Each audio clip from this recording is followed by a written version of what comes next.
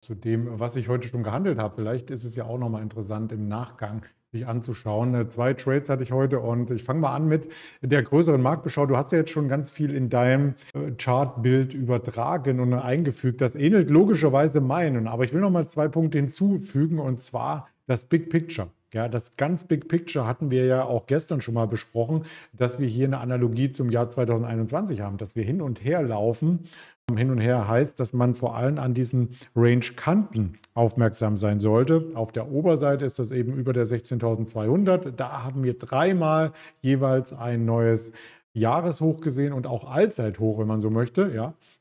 Und trotzdem ist der Markt immer wieder zu 16.000 und tiefer zurückgefallen. Auf der Unterseite ist eben diese Begrenzung, die 15.700, die wir uns auch immer wieder eingezeichnet hatten vom ähm, Chartbild her. Und wenn die mal brechen sollte, wie schnell es da nach unten geht, das haben wir ja erst Mitte Juli gesehen. Also das ist auch nichts, wo man dann überrascht äh, tun sollte und sagen, oh, hat ja niemand gesagt. Ich bringe das mal bei TradingView rein. Ähm, immer diese 15.900, 15.700. Das war auch mal so eine kleine Range. In der bewegen wir uns jetzt aktuell. Ja, jetzt wieder auf der Oberseite 900, 950. Aber wenn einmal diese die Trendlinie hier nachhaltig gebrochen wird. Gestern per Schlusskurs waren wir ja noch drüber. Wir waren nur Intraday drunter und Intraday waren wir eben genau an dieser 15.700, 705 war das Xetra-Tief, wenn du es ganz, ganz genau sehen möchtest. Wenn das mal bricht, kann es so ähnlich wie Mitte Juli hier auch sehr, sehr dynamisch nach unten laufen. Und ob das Tief dann bei der 14, äh, 15.450 oder wo das war ungefähr, äh, dann hält, das wage ich mal zu bezweifeln, denn darunter haben wir nochmal ein Gap, hier eine größere Unterstützung 15.200 und dann die 15.000. Also da kann es tatsächlich sehr dynamisch einhergehen. Ist aber nicht passiert, ja, also bisher hat das eingebremst und mit dieser Erkenntnis, dass es dort so eine Zone gibt, hat man natürlich verbunden auch gleich äh, Trading-Ideen entwickelt oder ich bin zumindest so, dass ich das gleich entwickle und dann auch ähm, aktiv ähm, umsetze. Also wir bremsen ab, wir kommen nach unten und wenn wir nach unten kommen und abbremsen, ist für mich das Long Setup das wahrscheinlichere, weil wenn wir in der Range sind und solange wir in der Range sind, muss man unterstellen, dass der DAX auch in der Range bleibt, ist ja die Wahrscheinlichkeit höher, dass wir nochmal von unten nach oben laufen. Und da gehe ich nicht ganz kurz vor einem Bruch einer Range, vor einem vielleicht Bruch einer Range, auf die Short-Seite, ja, und dann bricht sie wieder nicht und geht ganz dynamisch, wie wir es eben schon seit April immer wieder gesehen haben, von der 15.700 weg. Und ich bin bei, ich übertreibe jetzt mal, äh, 15.706 gestern im Tief Short gegangen und spekuliert drauf, dass nach dem Abschlag von gestern dann noch weitere Abschläge kommen und wir noch tiefer rauschen. Also, das äh, ist, glaube ich, äh, vermessen, wenn du sowas machst. Äh, da ist nicht mein Setup. Ja, gibt sicherlich viele, die sagen, ach, jetzt kommt der große Crash und ich will schon vor dem Bruch dabei sein. Aber rein charttechnisch positionierst du dich doch erst auf den Ausbruch hin, wenn der Ausbruch geschehen ist. Ja, also du machst doch auch erst den Regenschirm auf, wenn es regnet und läufst nicht einfach aus dem äh, Haus raus, also höchstens in London, weil die Statistik sagt, nach zwei Sonnentagen gibt es einen Regentag in London. Dann nimmst du doch nicht am, automatisch am dritten Tag immer den Schirm direkt in Vorhalt und spannst den auf, ohne in den Himmel zu gucken, ja, wo es hingeht vom Wetter her. Also so würde ich das mal zusammenfügen. Und deswegen ist das für mich, ähm, wenn wir am unteren Bereich einer Range sind, auch immer ein Indiz dafür, dass es nach oben gehen kann. Das hat Intraday aber ähm, nur die Auswirkung, dass wir im Fall eines Gaps auf der Unterseite, dass ich da eher die Tiefs kaufe. Das hatte ich auch gestern im Live-Training-Room hier mal dargestellt. Der gestrige Kauf war auf der Unterseite long und danach wurde das Gap oben geschlossen. Die Marke merken wir uns mal, das war um die 950 verankert um den Markt danach wieder fallen zu lassen. Also das war ein interessantes Konstrukt und es sah gestern ganz genauso aus. Gestern sind wir auch rangelaufen ans Gap, haben das Gap dann innerhalb der Live-Trading-Session auch, die wir bis 11 Uhr hatten, geschlossen, ganz genau. Und dann lief der Markt wieder zurück und zurückgeblieben ist genau dasselbe Bild, was wir auch am Montag hatten. Also Eröffnung mit einem Gap, hochlaufen und nach dem Gap Close ähm, geht der Markt in eine Schwächephase über und ja, läuft nach unten kann sich dort nicht mehr stabilisieren gestern, macht neue Tagestiefs. Das ist am Montag dann eben auch der Fall gewesen der Mittagszeit. Und die Tiefs, die waren dann tatsächlich so tief, dass wir einmal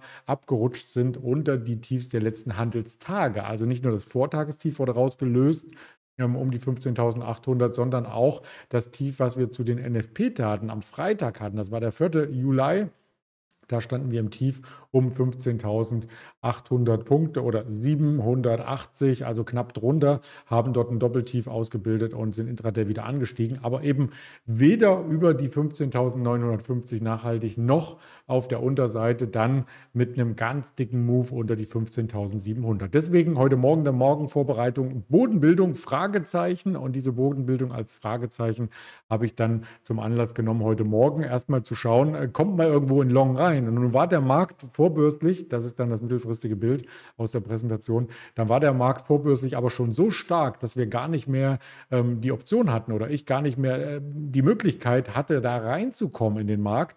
Bei 15.774 war der Schlusskurs Xetra und irgendwo tiefer wollte ich dann reinkommen, war aber nicht der Fall, denn der Markt ist gleich von dem Tief gestern ausgehend über den ganzen Abendverlauf hinweg nach oben gelaufen und hatte in der Vorbörse schon ein Gap von rund 100 Punkten. Also ein neues Gap, diesmal aber auf der Oberseite ausgebildet. Und dieses Gap auf der Oberseite, ja, warum ist das entstanden? Das ist auch ganz kurz angemerkt, nicht etwa nur, weil das so eine magnetische Wirkung hat, äh, der Bereich 15.900 bis 16.000, auch ein Bild von gestern übrigens, sondern weil im Handelsverlauf, das sieht man ganz deutlich, wenn man die Märkte sich mal komplett anschaut, der DAX 17.30 schließt, 17.30 Schlusskurs. Ähm, Im Minus war minus 1,1 Prozent. Äh, da war nur der TechDAX ein bisschen schwächer, der Eurostox auf dem gleichen Level. Denn zu dem Zeitpunkt äh, waren die US-Märkte sehr, sehr stark unter Druck. Insbesondere der Nasdaq, der hat die Tiefs rausgeholt, die er in den letzten Handelstagen formiert hat.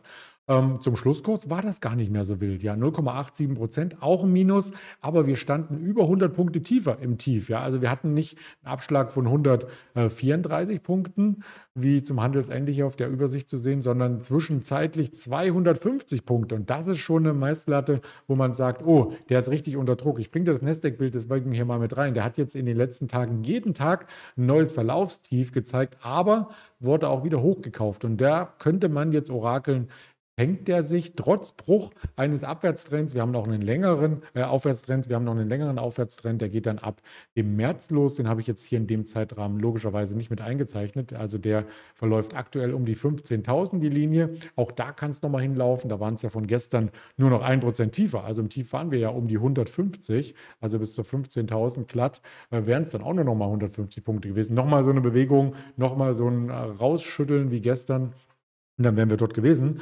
Ähm, aber ähm, der Markt hat sich eben dafür entschieden, wieder nach oben zu laufen. Und das geschah am Abend. Und diese Abendkurse, das siehst du dann eben nur im Endloskontrakt. Also so ab 18 Uhr, wenn du da den Mauszeiger mal anlegst, ich kann mal drüber havern, ob das funktioniert, ob man da was sieht, äh, sieht äh, da hat man auf alle Fälle äh, die Option, dass es ähm, um die 15.800 mit der Überschreitung der 15.800 das Nachmittagshoch in der Nachbörse rausgenommen, dass da eben nochmal weitere Käufer reinkamen, die dann auch am Morgen noch dabei waren. Also am Morgen ging es ja sogar noch eine Etage höher, über die 15.900 und dann kam die Eröffnung, die dann eben wieder im mittelfristigen Zeitrahmen über den ganzen Tiefpunkten der letzten Woche ähm, stattfand oder der letzten Handelstage. Also das heißt, dieser Bruch, um das mal zusammenzufassen, im Xetra gestern mit der Option auf Bodenbildung an der 15.700 hat dazu geführt, dass sehr, sehr viele zugegriffen haben, dass dieser Abwärtstrend ähm, überschritten wurde und dass der Markt am Morgen da ordentlich Drive aufgenommen hat und dann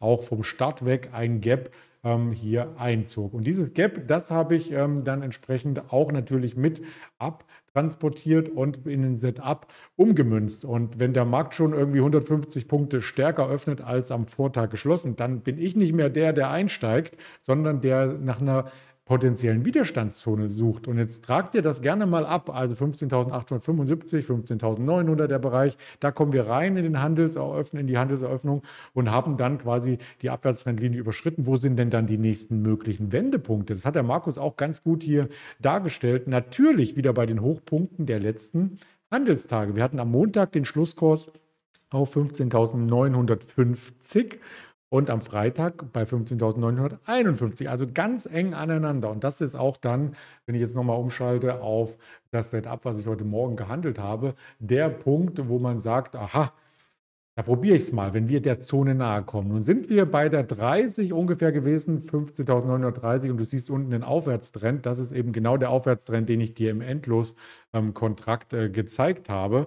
Der ist, ähm, oder der Kurs ist weit von diesem Aufwärtstrend weggelaufen. Und das bringt mich dann immer wieder ähm, an den Gedanken, ja, wir nähern uns einem Widerstand. Wir sind weit von dem Aufwärtstrend weggelaufen und wir haben noch ein Gap ähm, im Hinterkopf äh, von gestern ein ziemlich großes. Also vielleicht zieht es den Markt nochmal zu dem Gap hin. Das heißt, ich habe in Richtung dieser Widerstandszone eine erste Position aufgebaut und diesmal nur zwei CFDs, weil es eben eine erste Position sein sollte, äh, die ich verkauft habe bei 30 und den Stopp gesetzt in der Nähe der Hochpunkte, also dieser Widerstandszone, weil ich bis dahin auch nochmal gewillt war, die Position auszubauen. Also vielleicht noch einen zweiten ähm, Trade zu tätigen, nochmal Short zu gehen das Ganze ist leider nicht geschehen. Das heißt, ich war zwar im Gewinn, ähm, der Trade entwickelte sich in die Richtung, die ich angedacht hatte, nach unten, ist ja ein Short Trade gewesen, aber eben nur mit der halben Positionsgröße, die ich angedacht hatte. Trotzdem ist ja auch in Ordnung, wenn es äh, dann in deine Richtung läuft. Da freut man sich ja trotzdem und da bringe ich dann auch gerne